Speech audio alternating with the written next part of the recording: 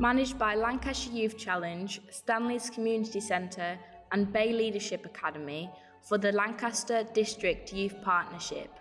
The Morecambe Bay Youth Triathlon was an exciting project where young people walked, cycled, and swam to success. Before the challenges themselves, the young people took part in a rigorous training programme delivered by professional fitness instructors from BayFit PT aimed at building core fitness, stamina, strength and resilience. So for the triathlon, I went to the gym every week for to train for the cycling part of the triathlon and the walking part of triathlon.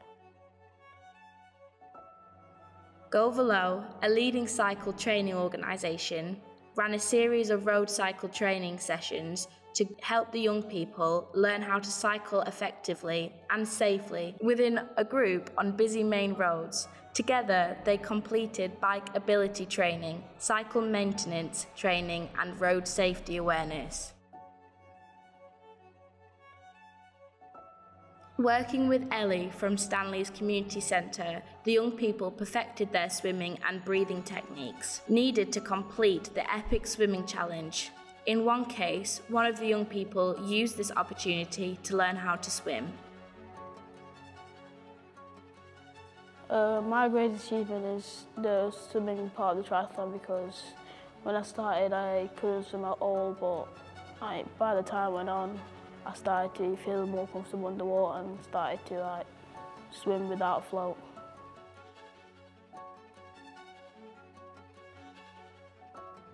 In preparation for the road cycling challenge for those young people who were unable to attend the real world cycle, we facilitated a static 100 mile cycle challenge.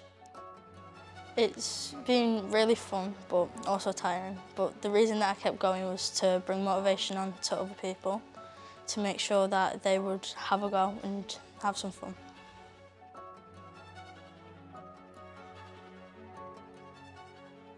On the 9th and 10th of July, a group of seven young people, along with youth workers and Go Velo ride leaders, cycled over 60 miles from Walney Island in Barrow in Furness to Morecambe.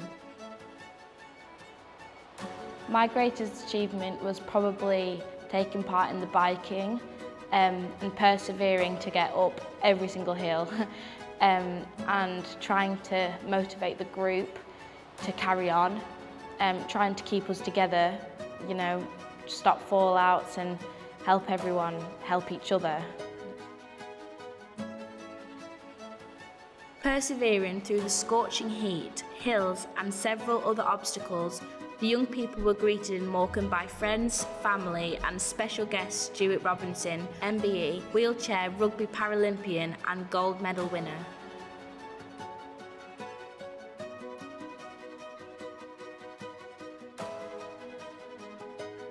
Diving into the second part of the triathlon, on the 17th of July, the young people successfully completed a virtual swim of Morecambe Bay at Salt Ayre Leisure Centre. Working together as a team, they swam a total of 520 lengths, which is equivalent to the 8 miles width of Morecambe Bay.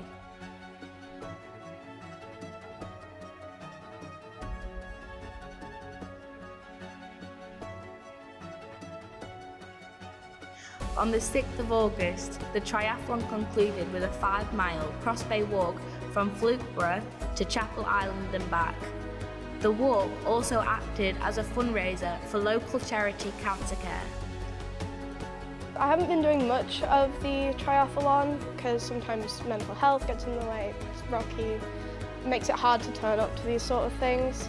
Um, but raising money for the cancer awareness, the research, it's, it means a lot to me. Um, so I've decided that mainly I'm going to be doing the walk with my friends so we go out, do walks anyway, have a really great time doing that, so it's just nice to get out. Also helps the mental health.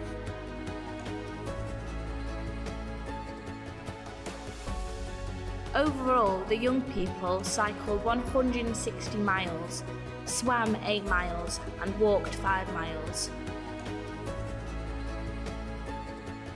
With this being one of a series of programmed activities for the Lancaster District Youth Partnership.